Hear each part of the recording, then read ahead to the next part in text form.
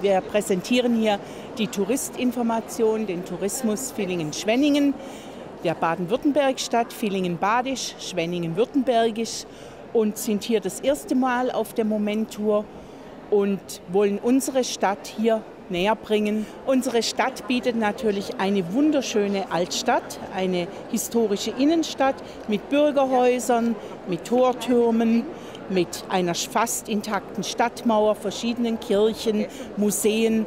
Es ist eine ganz tolle Stadt für Besuche, sowohl für Vereine als aber auch für Individualreisende.